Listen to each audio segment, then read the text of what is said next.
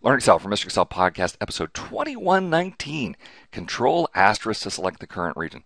All right, so if we have a huge data set, we want to select that data set, just press Control asterisk, and it will select uh, all the way to the edge of the data set uh, in all directions. All right, so it's when it has a completely, uh, completely blank edge. Let me show you what I mean by that.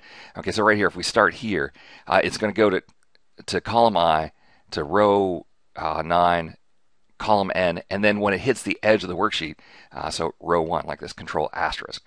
All right, and it, can you have some blanks in there? Yes, it's okay to have some blanks, but you can't have a completely blank uh, row like that. And I realize the row isn't blank, but at least from the point of view of this current region, it's not blank. Uh, right here, that cell, if that cell's not filled in, so I took that cell, cleared it out, and do control asterisk, uh, you'll have that. All right, now, uh, you know, just kind of as a, a bonus tip here, one thing that I hate that managers ask for sometimes are these tiny little columns between the columns, right? This is a disaster waiting to happen, those tiny little columns. And I worked for this guy once, and he didn't like uh, if we would just use under, under underscores, like head, head one, if we would uh, go into control one and say that we wanted to underline that with a single accounting underline or single underline, it doesn't underline the whole column, right? And he wanted the whole column underlined, but he didn't want one single uh, block of data.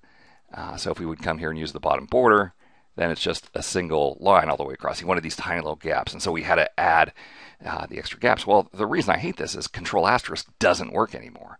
All right, so what we would do is when he would set up his data like this and send us the spreadsheet, we would secretly sneak in here and put a space in each of those. That way, when we use Control Asterisk, it would work.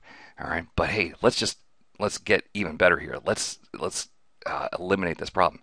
Uh, go back to just any four cells here. We'll take this one, head one, two, three, four. All right. And instead of this underline, which was the underline he didn't want, the, the regular underline, we'll do control one and then go to the underline drop down and choose single accounting.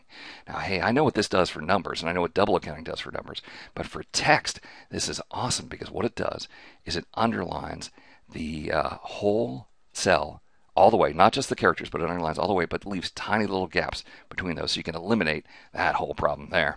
All right, so control asterisk select current region plus a little bit extra there on uh, the single accounting underline.